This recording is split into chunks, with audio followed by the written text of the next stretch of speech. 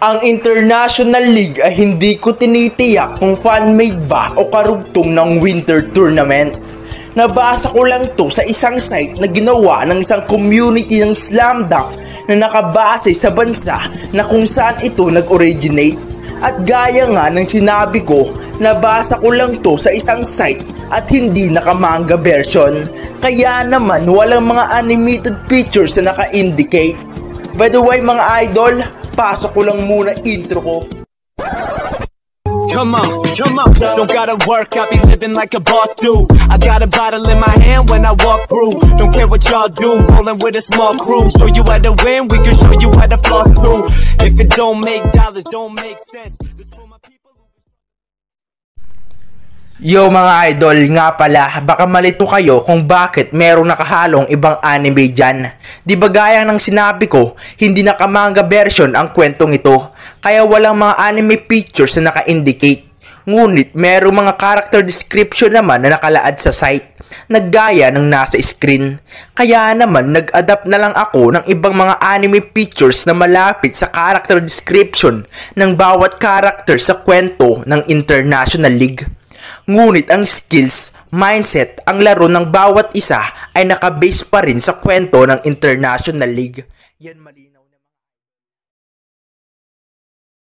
International League Chapter 778 Mabalik lang tayo sa nakaraang bahagi. Dito nga'y talaga nga isang klasikong play nga ang ginawa nitong kupunan ng Shokot na paratangan pa nga sila na manggagaya at dito nga'y Alam mo ba Maki? Na dito sa pinakamataas na liga, ang kupunan ng Shoko hindi naman kagalingan, di ba? Sino ba ang isang Kaidi Rokawa na ace nila kumpara sa mga ibang malalaro? Ngunit alam mo ba kung ano? Ano ang kinalakas nila? At saan to nang gagaling? Ha? Wika nitong si Sendot dito ngaya. Sa kanyang klase ng logic, alam ko na yan Sendo. Ang talino at galing kumpiyansa ng kupunan ng Shokoy nang gagaling ito sa kanilang management na kung saan itong si Coach Ansay ang siyang ulo. Kung paano niya minamanage at binibigyan ng respeto talino ang kanyang mga malalaro, tama ba? Wika nitong si Makit dito ngaya. Yun nga ang punto ko Maki. Itong si Coach Ansay ay labis na nakakatalino. Oo, sobrang talino yan. Mas matalino yan kaysa kay Coach Takato at Coach Tauka. Aminin mo, nandyan pa si Fujima na mayroon ding mentalidad ng isang tunay na coach. Wika ni Sendo, kaya naman dito nga yan. Team! Isiset ko ang bola! Wag na wag tayo mag-aatubili. Kailangan natin ng siguradong galaw. Bawal lang siyang magmintes, alam nyo yan. Wika nitong si coach na gatat dito ay. Agi na lang kayong ganyan. Paulit-ulit na lang. Na magsiset na ng ball at pupuntos. Tignan nga natin kung makakalagpas kayo. Sa depensang matatag, pupuna ng Shoko, wika ni Akagi at dito nga ay talagang hawak-hawak na nga nitong si Daimuro Boshi ang bolat dito nga ya. Ryota Miyagi, alam mo ba na ang kalingkingan ko ay walang-wala ka pa. Ang husay ko ay sadyang napakalayo ka, tandaan mo. At dito ipapakita ko sa'yo yun. Wika ni Murobosit dito nga ya.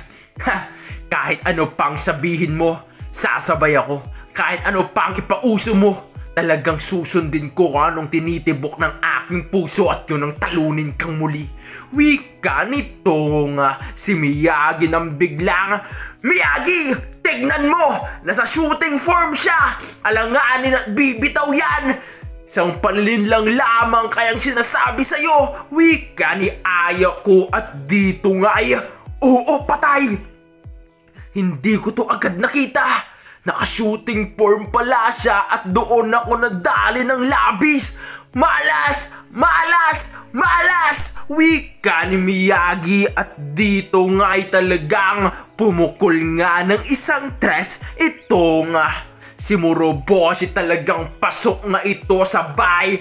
Ano? Yan ang rason kung bakit ako mas mahusay sadyang napakalayo sa'yo. Kailangan kong umatake, kailangan kong tumira at kailangan kong mag-set at lahat ng yun. Hindi lang kailangan sapagkat kaya ko hindi gaya mo. Wika ni Muroboshit dito ngaya. Tamang sinabi niya. Ang laro namin ay sadyang napakalayo. Oo, aminado ko. Ngunit kahit ganun pa man din na maliit ang tingin niya sa akin, sasabay ako. Gagawin ko ang aking trabaho. Miyagi, player role. Wika ni Miyagi sa kanyang isip at dito nga ay... Ha! Ano ka ba? Inang bagay sa'yo, konting sampal upang matauhan ka. Sino ba ang nagsabi sa'yo na mas mahusay ang kupal na yan? Ha! Para sa amin, ikaw ang pinakamahusay na point guard sa balat ng pinakamataas na liga. Tandaan mo yan, itatak mo yan sa kokote mo. Wika ni Sakuragi, samantalang dito nga ya. O team, isiset ko ang bola. Makinig kayo sa akin. Pupuntos tayo at bawal lang siyang magkamali. Ataking matatag, sama ng depensang matatag. Ngayon pupuntos tayo o kupuran ko. Wika ni Miyagit dito nga ay Boo! Boo! Yan na lang ang kailangan mong gawin at yan na lamang ang kaya mo. Ang mag-set ng bola. Ano't pumuntos, wala. Hindi ka, hindi ka banta para sa aming kupunan. Isa ka lamang props at anino ng iyong makakampi. Sigawan nga ng mga tagahanga ng SG.